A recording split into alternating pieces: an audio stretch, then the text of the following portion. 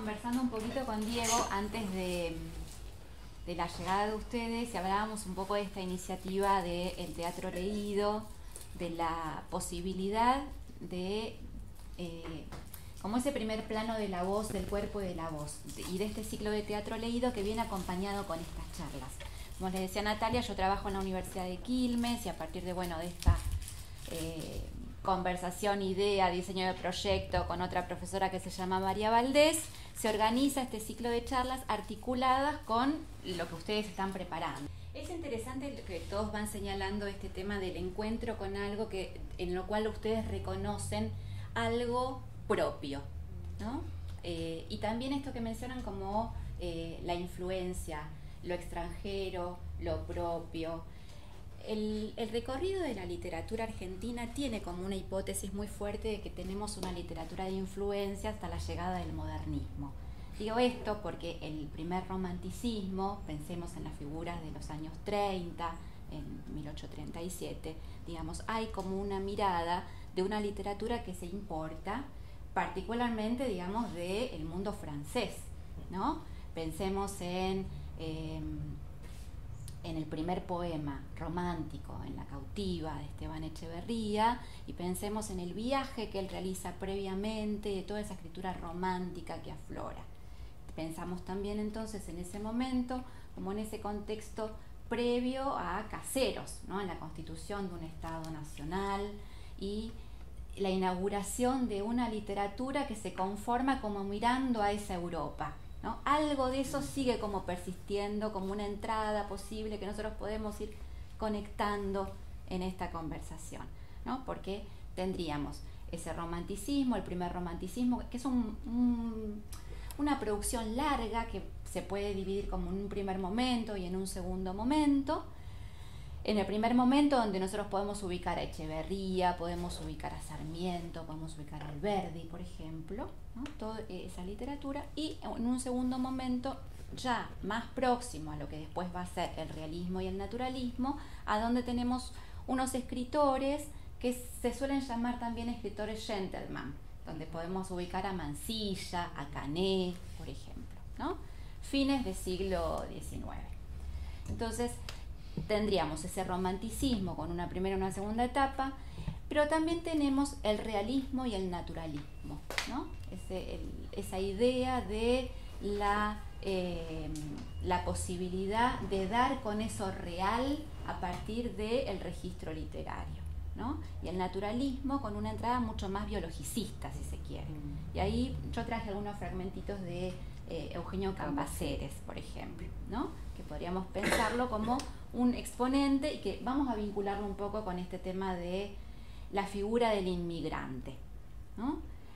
Em, ahora, la llegada del modernismo, que coincide con el, inicio de un nuevo siglo, implica la generación de algo que no parecería tan importado, sino que tendría como una producción propia, ¿no? En esa línea nosotros ahora podemos pensar también el tema del sainete, ¿no? digamos como género que si bien existió el, sainete español, digamos, el sainete criollo tendría otras variantes.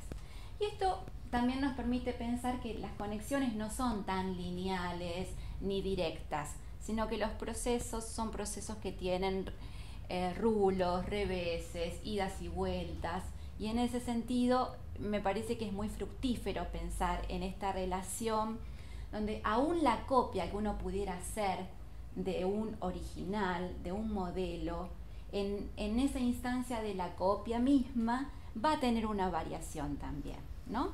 Digo esto porque, eh, por ejemplo, el naturalismo, eh, que nosotros lo pensamos como modelo europeo, con una figura como Emil Solá, se abocaba por ahí a clases más altas, sin embargo, acá se va a ocupar de clases más bajas, ¿no?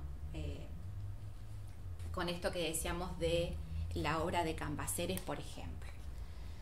Em, entonces, a partir de lo que dijeron, rescatar estas dos cosas. La idea de una literatura de influencia, de algo que viene de otro lado, pero eso se transforma, algo sucede con eso. Hay una vivencia, hay una apropiación. Todos hablan de una experiencia, de una experiencia, Fito habla de cuando era chico y la experiencia del patio, el tango, un, momento, digamos, de transformación cultural que implica la, la, vivencia de un espacio, digamos, la, el registro de una palabra también, de una tonalidad.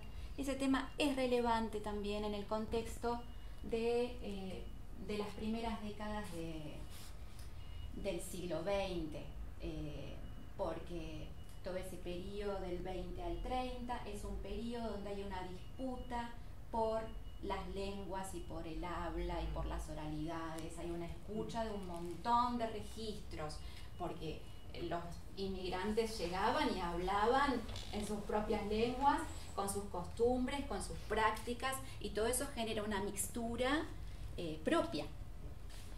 Entonces ahí también tenemos otra línea para ir trabajando. Esto que ustedes no ven, pero que yo veo, que tengo acá, tiene un título en mayúscula que dice Resumen cronológico de la vida y de la obra de Alberto Bacareza. Y entonces es una presentación cronológica donde va año por año desde el nacimiento, que es 1888, el primero de abril, y entonces nosotros vemos una sucesión de una producción exhaustiva. O sea, es alguien que tiene una producción desde 1904, que estrena el juzgado Sainete en un acto, y voy a mencionar el sainete Los Escrullantes de 1911, porque es un sainete con el cual él gana un premio, ¿sí? Presenta esa obra y gana un premio del Teatro Nacional. Es casi eh, es preciso ¿no? el, registro del lenguaje. Sin embargo, en 1911 dice, con el sainete Los Excluyantes, gana el concurso organizado por el Teatro Nacional. El libreto fue presentado una hora antes de que venciera el plazo para la recepción de original. Ah, Aparece un dato más, que es como de un, de un matiz distinto, pero que también da cuenta un poco, digamos, de esa situación de lo que es la entrega de eh, un material para una presentación, ¿no? Y que también eso nos permitiría pensar un montón de series en la literatura de las obras, digamos, bueno, en este caso entregó la obra, pero podría ser también que nosotros pensemos obras no entregadas y luego rescatadas, que es como un, un universo precioso para trabajar. Bueno, entonces, a ver, la producción que tiene es exhausta, Ahora este, vamos a ir viendo todos este, eh, esa sucesión de años, que esto ustedes, digamos, lo pueden ver. Lo que a mí me interesaba de este detalle tenía que ver un poco con eh, la idea de una producción permanente que también tiene en su registro, si yo ya llego a los años, ya para el año 50, antes en el 44, él eh, publica un libro de poemas que se llama Cantos de la Vida y de la Tierra. Un libro de poemas que aparece ya pasado el inicio de esa década del 40. Y en los años de 50 lo que me interesa destacar es eh, el, el, desempeño de él en lugares, digamos, de gestión.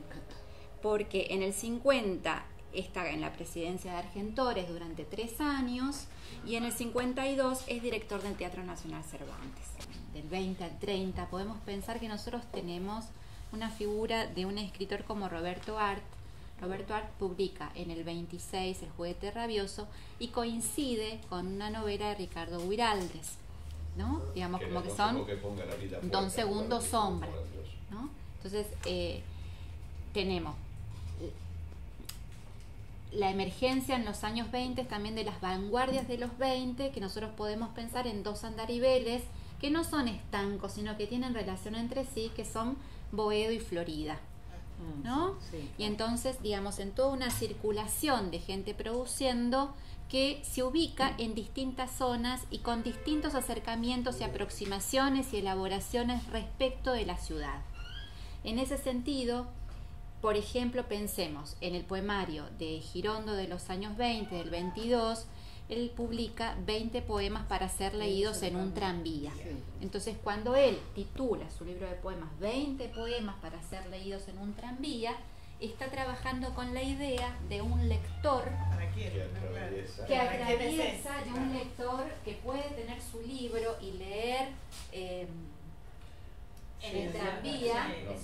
distinta y la imagen de la ciudad que nos va a proponer Girondo es otra diferente, mm. ¿no? Eh, ahora, ese Girondo coexiste con Art y coexiste también con eh, lo que después eh, va a terminar en, el proyecto Sur, con Victoria Ocampo, por ejemplo, como imagen, digamos. Sarlo tiene un, un libro que se llama La modernidad periférica, que trabaja temporal, y ella habla un poco, digamos, del tema de las traducciones y de la, lectura eh, de la literatura bien escrita o mal escrita. ¿no? Art tuvo distintos eh, momentos de recepción de su obra. Eh, durante mucho tiempo se pensó que Art era un mal escritor, ¿no? que escribía mal. Art es hijo de inmigrantes, por eso yo mencioné mucho este tema de cómo, digamos, un, un proceso cultural que implica la emergencia de un campo cultural y la educación, más la llegada, el trabajo y, todos estos procesos que se van dando, permiten la emergencia de, eh, de, nuevas, de nuevos matices de modelos de escritor. Em, entonces tenemos a Art que lee malas traducciones de folletines traducidas, pero que circulaban, la gente leía y consumía. Y tenemos eh, en el caso contrario, acá estoy relevando lo que dice Sarlo, a eh, Victoria Ocampo que viajaba con las vacas en los barcos, compraban los vestidos, que los traían, pero que ella era eh, hablante del francés y escribía en francés. ¿Sí? Entonces todo eso coexiste en esa misma época. Y eso también lo podemos conectar con esto que aparece en el documental de el desprecio por un género menor, por algo que se consideraba género chico y de cómo eso, digamos, se puede entender en función de, bueno, quiénes son los que están diciendo eso, por qué motivo, ¿no? ¿Qué, qué valoraciones y qué apreciaciones y qué representaciones se ponen en juego con eso. Eso por un lado. Eh, y en este corte que yo, yo, quería plantearles como estos grandes cortes, como para ir pensando después la obra, porque ustedes la obra la van a trabajar, la van a leer, Vito ya tuvo varias puestas, eh, este corte que estamos haciendo, que empezamos eh, con el Facundo, leímos algo en La Sangre, leí, mencionamos a Girondo, mencionamos a Victoria Ocampo, el escenario de los 30, con lo que va a significar la emergencia de un periodo crítico del 29 a raíz de la caída de la bolsa, el golpe militar, implica en algún punto el inicio de eh, lo que se llama los ensayos de interpretación nacional, de indagación nacional. En los años 30, por ejemplo, en el 31, Scalabrini Ortiz escribe El hombre que está solo y espera. Entonces ya en el 30 tenemos otro corpus literario que también aparece pensando la figura del inmigrante en otro contexto distinto, con otras apreciaciones, porque esto que ustedes trajeron en escena, de pensar eh, la Argentina como tierra de promisión, ¿no? que es una idea también motivadora para poder ir hilando, hay eh, en los años 30 un ocaso de esa idea. Hay eh, como un momento de opacidad y de entender que ese proyecto quedó trunco, no era. Entonces ahí tenemos la producción de Radiografía de la Pampa del año 33 de Martínez Estrada y tenemos la producción de El hombre que está solo y espera, ¿no? De un hombre solo, de un hombre, digo, la ciudad con hombres en la calle, no con mujeres, digamos, hay una mirada desoladora. Lo que a mí me interesaba traer de, de, esa década del 30 es, claro, el ocaso de un proyecto que se ve como esa tierra de promisión que tiene un momento de cierre, en los 30 y que eh, viene también de esto que planteábamos de la confluencia de modelos distintos que señalábamos en los años 20 con la producción, por ejemplo, de, Girondo y de, y de este, Victoria Ocampo, del inmigrante en permanente movimiento, ¿no? O sea, que la está buscando, digo, que no, que está activo, que no desiste en su, en su búsqueda y en su objetivo. Eh, también el tema de, estas mujeres que aparecen ahí accionando, cómo van llevando la acción. Mm. Y el caso de, Paloma, que aparece mencionado como muy tenuemente y no está expandido, el tema del trabajo en la fábrica. Mm. Se menciona simplemente en, una niña. Y hay algo eh, este, también con eh, el cambio de vida, que a una vida anterior y una vida nueva que ella inicia cuando llega al conventillo. Paloma es un personaje que tiene esta eh, posibilidad como de interpelar a Villa Crespo, ¿no? Ah, el, nombre de ese personaje además, ¿no? Villa Crespo, y retornando al tema del, del, tango, de cómo aparece un tango escrito por el propio autor dentro de la, de la pieza. Atorrante. Y atorrante, y eh, cómo aparece también la idea del eh, un poema dedicado al barrio, ¿no? que es lo que él recita, el lugar de, la recitación incluido dentro de esa textura de la trama de la obra. Y uno puede rápidamente en una lectura inicial ver la cantidad de producción que él tiene en la obra. Entonces, esto que menciono, porque ustedes después pueden consultar la biografía de él en la web, pero me parece un dato relevante en cuanto a la vigencia de una producción, de un género, que se pudo sostener en un tiempo también, porque si esas obras se realizaran eran porque había un público, digamos, y ustedes también hablaron de eso. Eh, Sunilda habló, digamos, de la producción que ahora están haciendo en Navarro para hacer una apuesta del conventillo de la Paloma.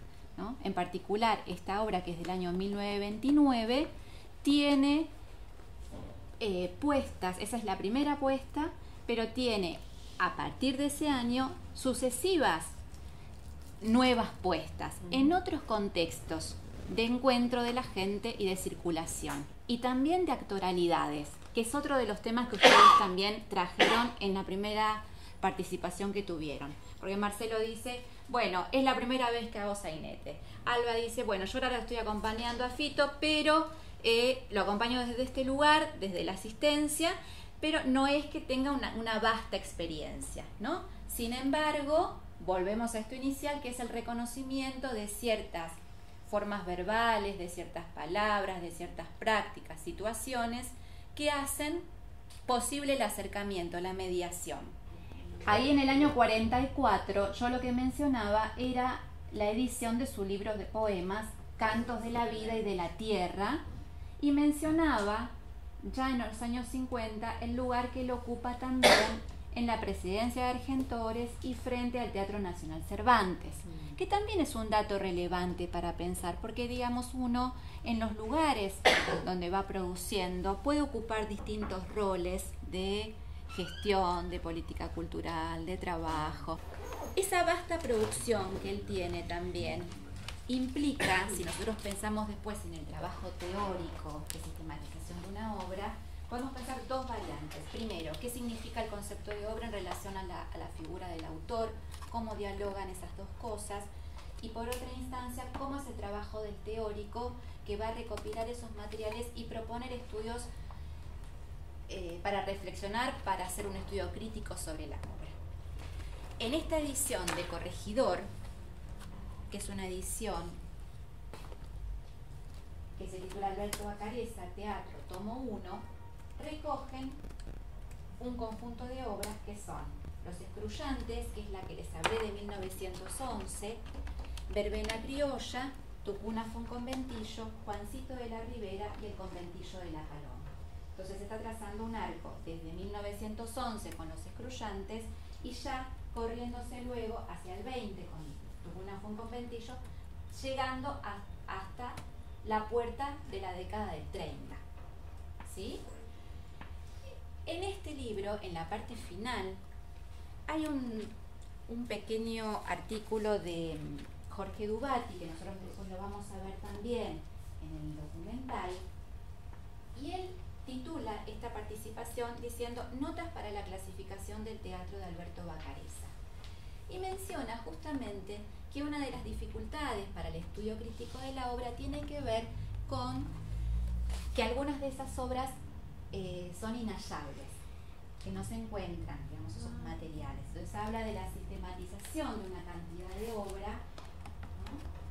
Entonces él menciona esas dificultades y menciona también eh, respecto de, los estudios previos de cómo se eh, focalizó un poco la amplitud de la obra de Bacareza, ¿no? que él trabajó con sainete, que trabajó con cuestiones más nativistas. Entonces él va a señalar eso también como otro problema de la crítica. La podemos pensar en relación también con la vigencia de una obra que ha tenido distintas puestas a lo largo de distintos cortes temporales. Es del año 29, de abril de 1929 en el Teatro Nacional. Y la edición acompaña un dato, además, en el tema del prólogo. Dice en la hoja derecha, prólogo a El conventillo de la Paloma por Alberto Bacareza, y en la nota pie dice, el prólogo fue escrito para la reposición que se realizó en el Teatro Presidente Alvear con el siguiente reparto. En este prólogo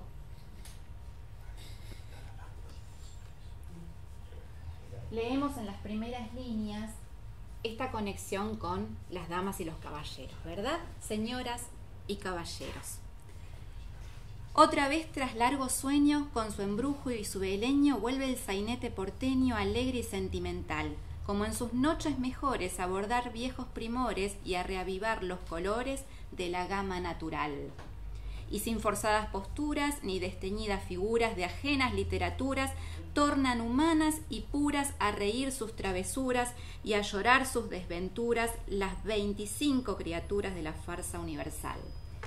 Buenos Aires, la abnegada ciudad abierta y bien amada, dio albergue de su fe a cuantos a ella vinieron, y a poco andar se fundieron en su crisol, y así fue como a la luz de la tea del trabajo y de la idea, la lejana gran aldea de los sueños de Cané se tornó proficua y pingüe, cosmopolita y bilingüe hasta ser hoy lo que se ve.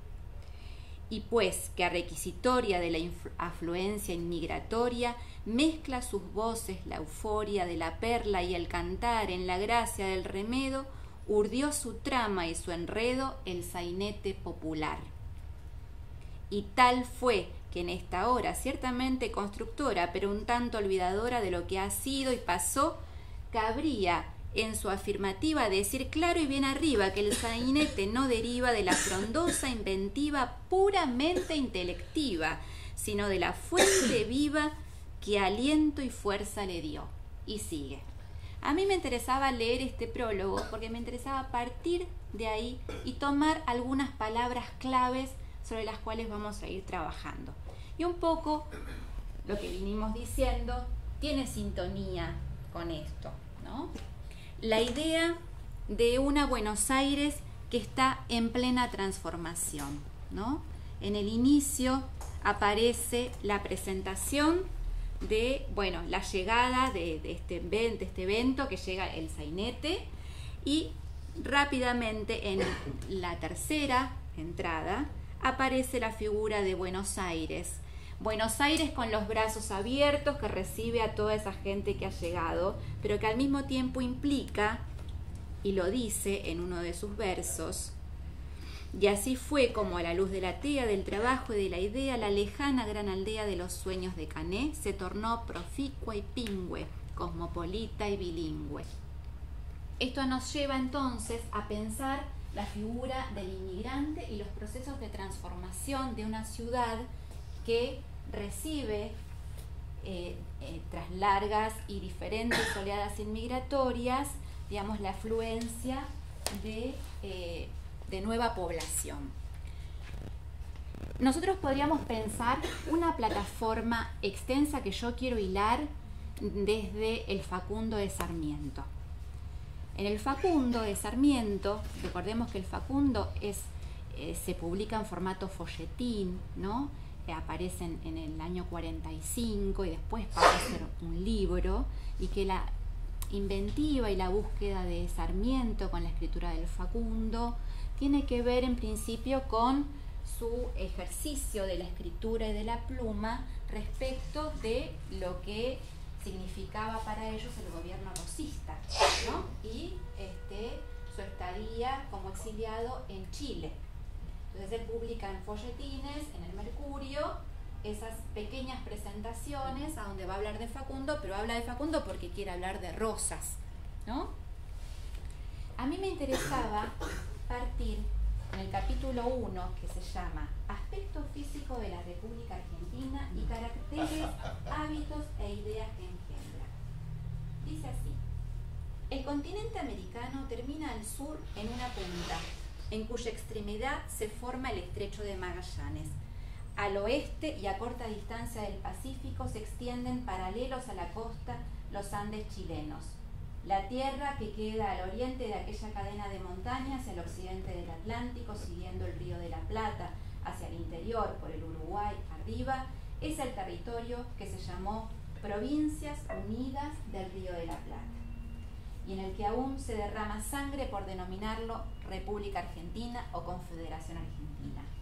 Al norte están el Paraguay, el Gran Chaco y Bolivia, sus límites presuntos. La inmensa extensión del país que está en sus extremos es enteramente despoblada y ríos navegables posee que no han surcado aún el frágil barquichuelo.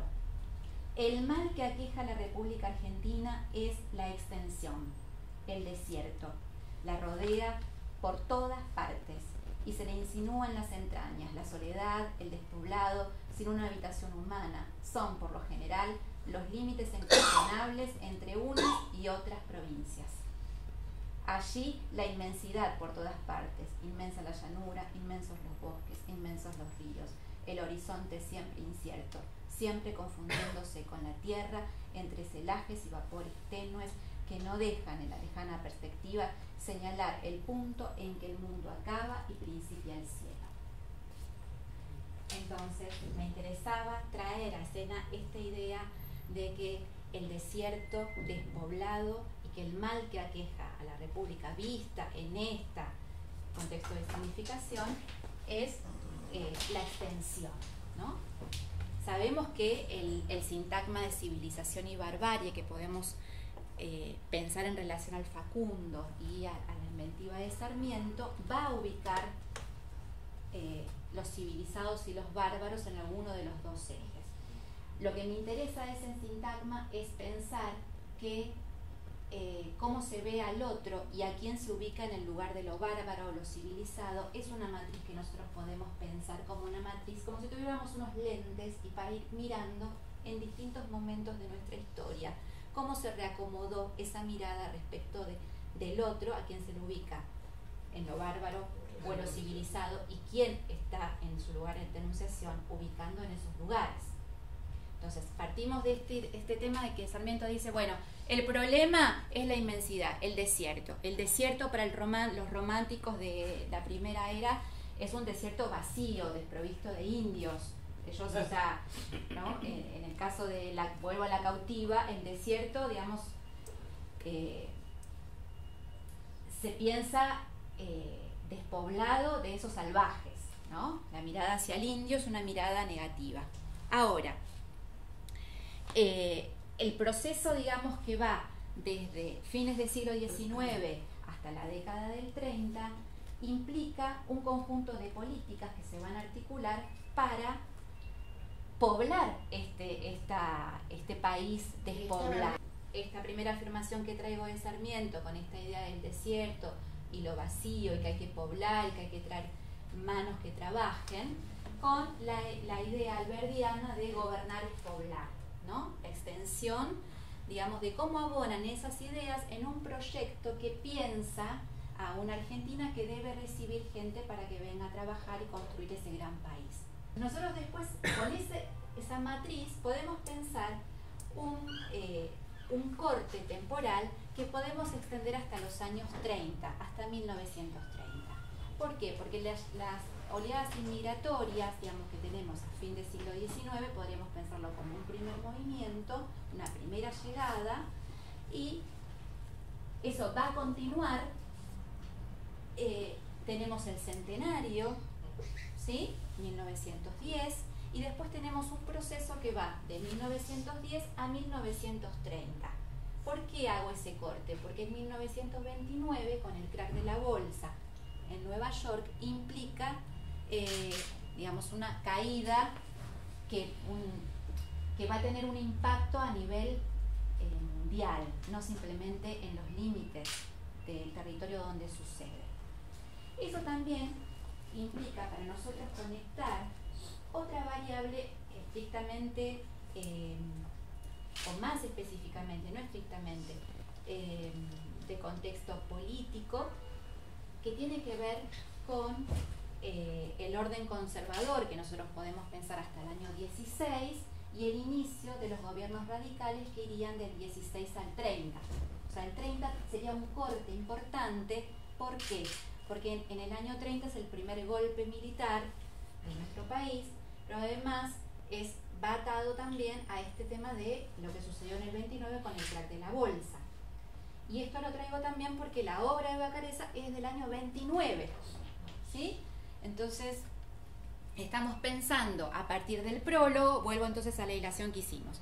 Partimos del prólogo, en ese prólogo aparece la figura del sainete, aparece la idea del inmigrante y del crisol, y esta idea de inmigrante es una idea que tiene que ver con eh, la afluencia de oleadas inmigratorias que en distintos momentos de, nuestro país refirieron a procesos sociales y culturales y políticos que eh, pensaron el, el país de determinada manera.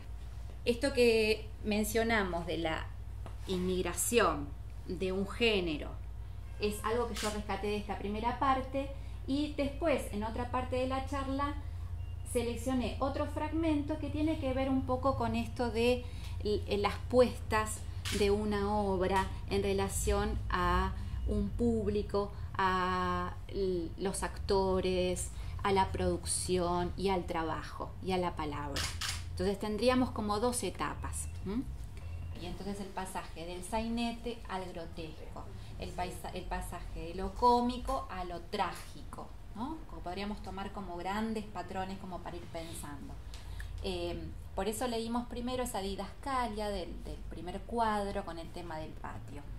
Un ejercicio lindo para hacer puede ser también trabajar con todas esas didascalias y ver cómo va apareciendo ese patio permanentemente, ¿no? Algún ejercicio de lectura también eh, interesante de cómo el patio es el escenario eh, abierto donde están esos personajes y, que se los presenta en lo que leyó Marcelo todos haciendo algo, ¿no? Esto que había aparecido también de la no eh, inacción, la movilidad permanente, el traslado, la, búsqueda. Em, hay algo que me interesaba de esta parte que tenía que ver con estas dos puestas, la de Graciano y la de Doria, de cómo aparece ahí el, eh, esta reflexión de eh, cuán difícil o cuán fácil fue, eh, a qué los motivó, qué trabajo tuvieron que hacer. Entonces Graciano dice, bueno, me costó más que, que Edipo Rey, ¿no? entonces habla, digamos, de como una suerte de la necesidad de un paratexto, de algo de donde a poder agarrar eso, ¿no? Y me parece valioso ese testimonio porque eh, trae un poco a escena esta cuestión de la, de la dificultad, pero no como algo que eh, detiene, que, eh, que, impide, sino que él eh, confiesa la necesidad de trabajo que le llevó esa pieza, ¿no? Hay algo valioso en ese testimonio. Aparecen, digamos, la hija y el nieto también contando un poco la recepción eh, por parte de quienes este, ponen en circulación la obra de, de Alberto Bacareza. Y después aparece Doria también, y que él habla de este tema de eh, como el legado, ¿no? La tradición, podríamos pensarlo, una tradición y un legado a otras generaciones. Y en ese caso podemos pensar un poco la figura del Teatro Cervantes, del Teatro Nacional Cervantes, podemos pensar este tema de la formación de nuevas generaciones. Y la idea, volviendo a lo que habíamos planteado al principio, la idea de obra y de autor, y de cómo determinadas obras se transforman en clásicos. Y que acá aparece también la palabra clásico. Y que vuelvo en ese sentido a, poner en escena el libro ¿no? Corregidor saca un tomo de Bacareza junto con otros tomos porque, bueno, pasa a ser parte de un clásico. Y eso no significa que eh, la obra esté eh, cerrada en sus posibilidades ni, de realización ni de recepción, porque si hablamos de eh, la estética de la recepción, donde piensa un lector activo, la obra se va a completar con esa otra arista necesariamente, ¿no? con esa escucha. Em, también de ese tema de la, de la idea del legado y de de dar a conocer, de acercar, de poner en circulación, de trabajar con eso, habla Felipe Piña respecto de las nuevas generaciones. ¿no? Entonces me parece que ahí hay algo valioso en el documental que explora esa, esa beta y que también los años, los 80 y eh, el bicentenario también son esos números redondos donde aparece como esta revisita del material. Entonces tendríamos eso por un lado y por otro lado este tema de como una constante, la idea de clásico de un texto que se va revisitando por distintas razones y a veces coincide con estos cortes, digamos, como muy particulares. Y también pensaba un poco en el tema de si podemos pensar gradaciones, eh, matices en, esas oralidades que aparecen y eh, matices o gradaciones de entendimiento si hay algún, alguno de esos lenguajes que se entiende más que otro, o donde uno, porque también ahí pensamos la figura del espectador, ¿no es cierto? La cercanía del espectador, eh, a dónde pondríamos al que tiene el lenguaje más enrarecido, que no puedo decodificar porque no puedo entender cómo está componiendo las palabras. Hay algo lindo que aparece en la anécdota de Mercedes, y él dice, bueno, ella dice, eh, fui con unas amigas y nos encontramos con mi papá y mi papá empezó a hablar raro. Y eh, yo le decía, papá, ¿por qué hablas así? Y bueno, y entonces este, después este, mis amigas entendieron lo que estaba haciendo y empezamos todos a conversar. Aparece esto lúdico que dice Miriam, ¿no? Como la posibilidad de incorporar al otro en ese juego de lenguaje, ¿no? Claro pensaba eso en el ejercicio de la palabra puesta en escena, ¿no? Porque va a tener un protagónico. Y otro tema que pensaba también es eh, cómo en este contexto actual, hoy, 2018, tenemos un recorrido de otras escenas donde eh, se piensa en un espectador, en un espectáculo y alguien que va a ofrecer ese espectáculo, a interactuar con ese espectáculo poniendo en juego la palabra, el tema de la escucha de la voz. Por esto lo pensaba un poco también en, los procesos que se vienen dando de ciclos de lectura, eh, en el campo de la poesía, por ejemplo, digamos, ir a escuchar una lectura de poesía, escuchar lectura de narrativa. Pensaba en los ciclos de teatro leído que se hicieron ahora en el Cervantes el año pasado, digamos que esos también son datos relevantes del contexto de cómo circula determinada obra con determinada propuesta, con determinados eh, elementos puestos en juego. El tema de la afluencia de público, al inicio mencionamos, bueno, la obra se estrenó en el 29, fue una obra que superó las mil funciones. Y eso es un datazo relevante y que lo conectamos con esto que fuimos hablando de la ampliación de ese campo cultural, de esa posibilidad de acceder, de cómo, digamos, más allá de lo que venimos señalando, de cómo se fue conjugando esa recepción y llegada de, eh, esa inmigración y de las generaciones posteriores, digamos, fue un periodo de ensanchamiento de esa y este tema del público también lo menciona Graciano en su puesta de los 80. Él dice, bueno, no podíamos estrenar otra nueva obra porque seguían las funciones. ¿no? Y también lo menciona Dubati respecto de la puesta de Doria. ¿no? Entonces ahí hay algo también de la tradición de lo que significa eh, la, la afluencia de un público que tiene eh, ciertas prácticas para poner en juego. Esto que mencionan respecto de las condiciones que se preparan para que puedan llegar eh, los inmigrantes, refiere a esa ley de 1875, refiere a, garantizar eh, la llegada y tener un lugar a donde quedarse y este, tener un, un boleto para poder dirigirse al lugar de trabajo. En la página Educar hay una serie de fotos. Yo acá tengo los epígrafes porque no los puedo insertar.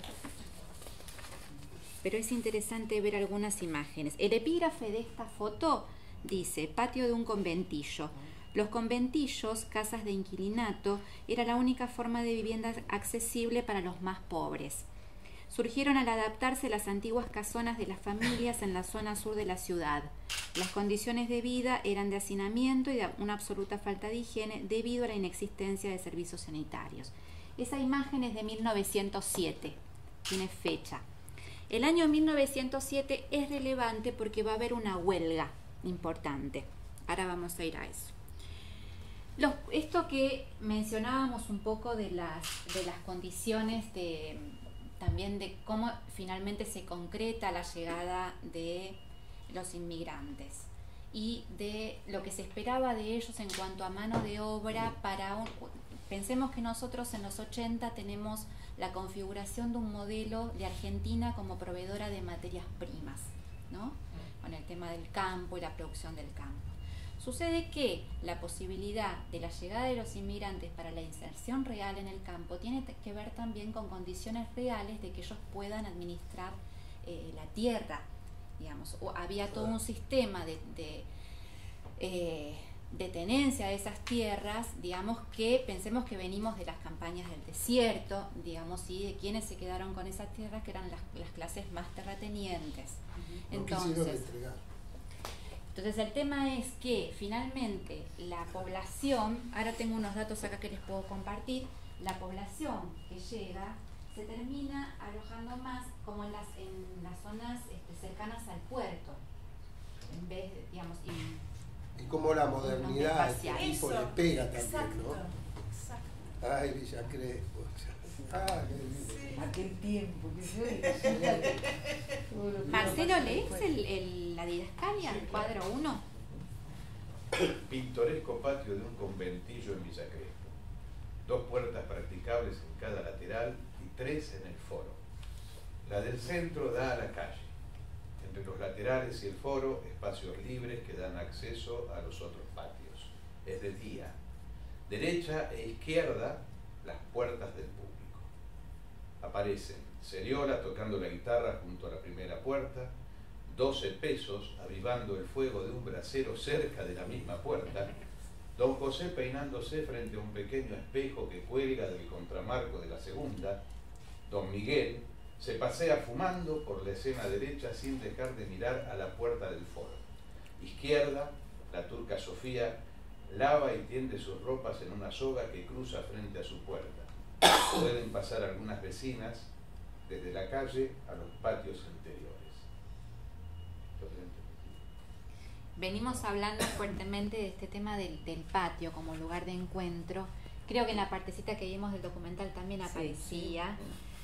Em, y hay algo de, de, lo que sucede ahí con esa apuesta y como espacialidad que en el sainete, que también vimos en el documental y venimos reseñando este tema de la doble vertiente de algunos sectores que piensan, bueno, es un formato importado que se adapta o es algo que, bueno, que se va adaptando eh, y cómo se conecta eso con la inmigración y las distintas lenguas.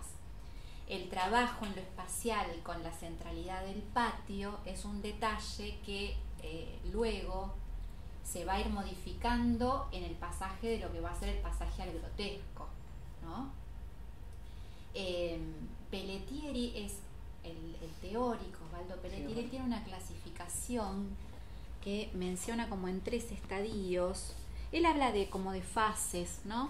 Y él menciona una primera fase con el sainete como pura fiesta y el, el conventillo estaría en, dentro de, esa primera vertiente. eh, el, el sainete tragicómico como una segunda fase y la tercera fase ya el grotesco trágico.